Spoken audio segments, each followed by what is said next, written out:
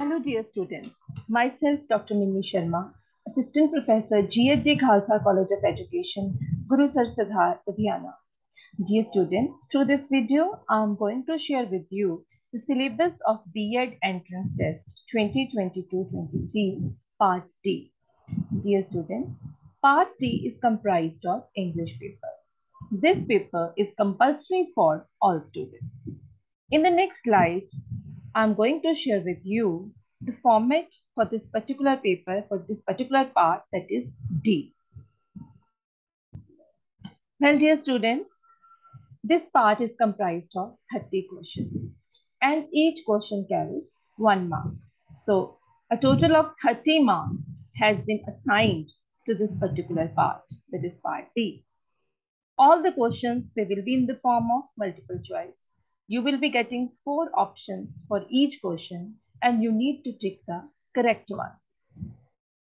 Now let me share with you the content of this particular part. There will be four parts like grammar, idioms and vocabulary, correction and punctuation, and written comprehension. In the next few slides, I will be discussing with you these parts, that is the grammar, idioms and vocabulary, correction and punctuation, written comprehension, etc. in detail. So let us first of all discuss the grammar part. In the grammar part, जो आपको MCQs आएंगे वो आपके basic English grammar के जो concept हैं उनके ऊपर बेस्ड होंगे like for example types of sentences degrees of comparison articles active passive voice Direct, indirect narration, conjunctions, clauses, use of correct form of verb, prepositions, punctuation, etc. All these are basic English grammar concepts. है इसमें से आपको MCQs आएँगे ठीक है इसमें से किसी भी पार्ट से रिलेटेड आपको जो क्वेश्चंस हैं वो आ सकते हैं in idioms and vocabulary okay first of all let us discuss about the idioms so you will be getting question like आपको एक ईडियम दिया गया होगा, जैसे आपके हिंदी या पंजाबी में मुहावरे होते हैं तो उसमें ऐसे आपको इंग्लिश में ईडियम्स दिए होंगे। अगेन उस ईडियम से रिलेटेड उस पर्टिकुलर ईडियम के आपको चार मीनिंग्स ठीक है in the form of four options they will be provided ठीक है? And you need to tick the correct option correct जो उसका मीनिंग होगा, ठीक है, उस ऑप्शन में दिया होगा, वो आपको टिक करना है।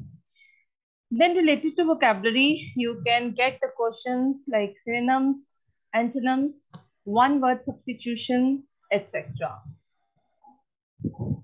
You will also be getting a comprehension question जिसमें आपको एक पैराग्राफ दिया होगा कंप्रीहेंड करने के लिए you will be provided with some questions जिनके आपको आंसर्स जो हैं उस कंप्रीहेंशन पैराग्राफ से ढूँढने हैं again the questions will be in the form of MCQs only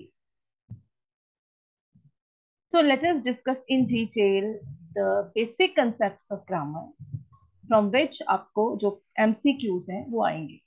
Like first of all, it is degrees of comparison. Okay, like the question like a horse runs dash than a buffalo. Okay, so here the comparison is, is between two animals. First of all, okay. Now for again you need to see uh, जो यहाँ पे runs runs बात की गई है यानी कि speed की बात की गई है ठीक है so जो मोस्ट अप्रोप्रिएट ऑप्शन है यहाँ पे, वो या बी हो सकती है या डी हो सकती है। लेकिन आपको पता है कि हॉर्स जो है, वो तेज भागता है।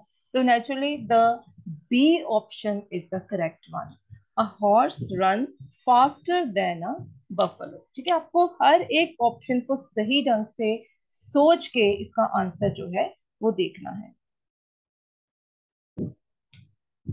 Next is articles like the first MCQ is I like to watch tennis on television. It is dash very good game. Okay? So it is the a very good game. A part is the correct option here. Okay.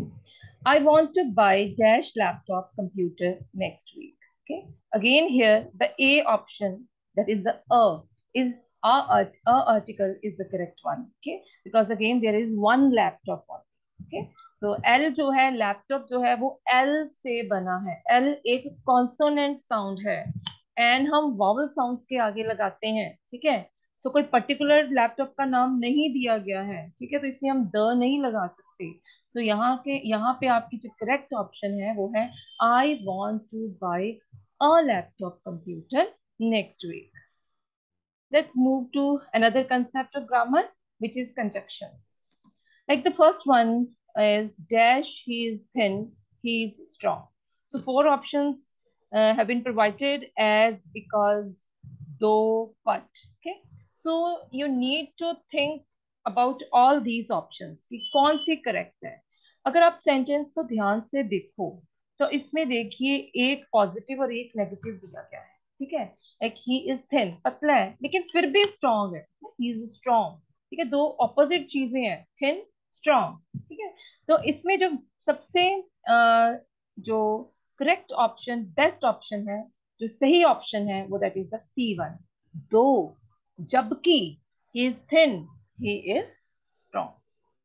The next one, they can't watch television. Dash the rest are studying. okay so here the correct option is while that is the a part they cannot watch television while the rest are rest means pe others the rest are studying now, the use of correct form of verb in the given sentence. You will be provided a sentence. Okay. Uh, verb will be given in the bracket. Four options will be there. You need to see. जो आपको bracket में verb दी गई है, उसकी कौन C correct जो option है, वो आपके इस ब्लैंक में फिट होगी। I was very grateful that he dash तो ब्रैकेट में दी गई है repair my computer so promptly four option are repair will be repairing will repair repair so you can see from the sentence itself that it is a, in the past tense okay so isme jo helping verb use ki use ki gayi hai that is a was Okay. I was very grateful that he repaired. So D option is the correct one. I was very grateful that he repaired my computer so promptly. Then the next one, my uncle Samuel dash B. B is the verb here. A source of inspiration for me since I was a young boy. So four options are given. Was being, will be, is being, has been. So the correct one is the D one. My uncle has been a source of insp inspiration for me since I was a young boy. Next are prepositions. Father divided his property dash four sons. Okay, so uh, you can see here uh, the best, the correct option is the among. ठीक है क्योंकि between हम तब लगाते हैं जब दो के बीच में हमने कोई चीज़ को डिवाइड करना है the father divided divided as per this sentence father divided his property among four sons more than two हो गए four sons हैं then he has been living in this house dash 1985.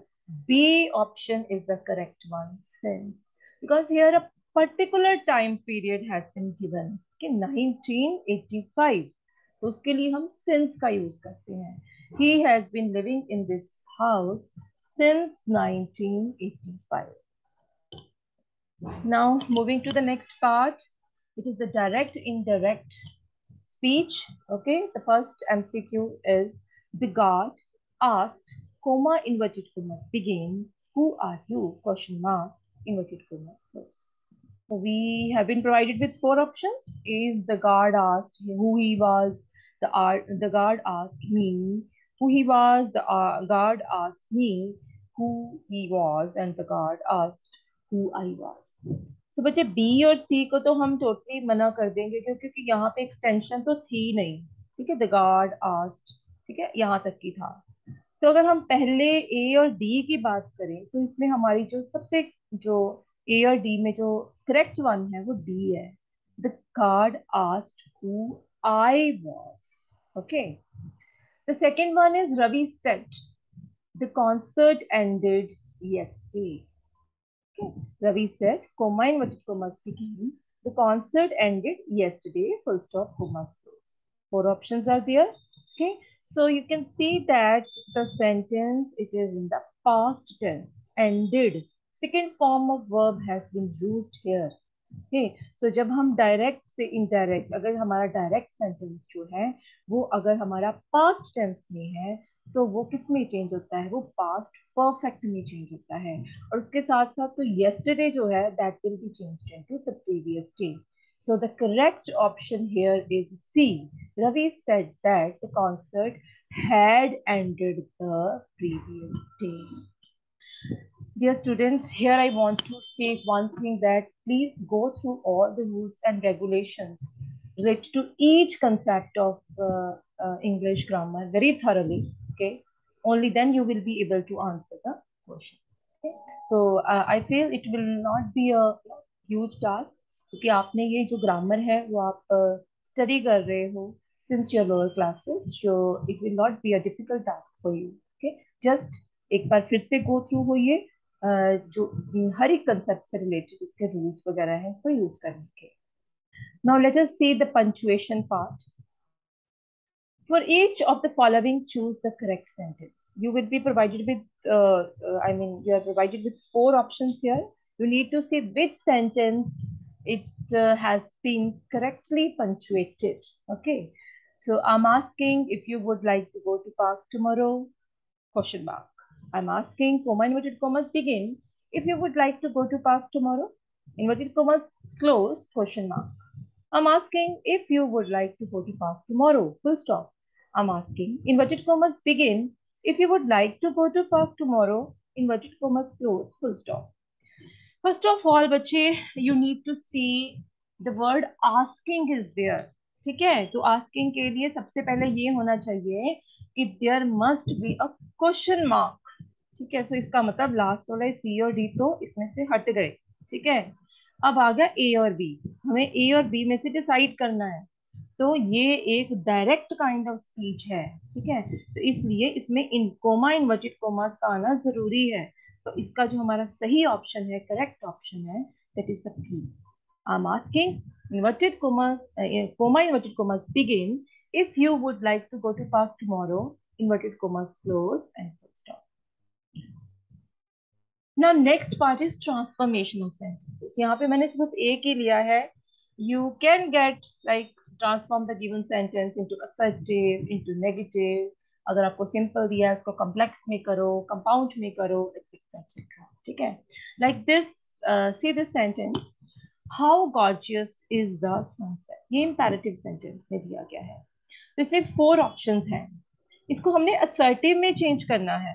आपको पता है असर्टिव जो है जो जिसमें कोई भी हमारा सिंपल टाइप ऑफ़ सेंटेंस होता है, इसमें फ़र्स्ट ए और बी पार्ट तो गए, क्योंकि इसमें इंटेरोगेटिव साइन दिया गया है। ठीक है, हमने तो चेंज करना है असर्टिव डी पार्ट भी गया, क्योंकि ये फिर से इम्पेरेटिव में है। तो जो सी पोर्शन है the sunset is very gorgeous this is the correct option it is a C one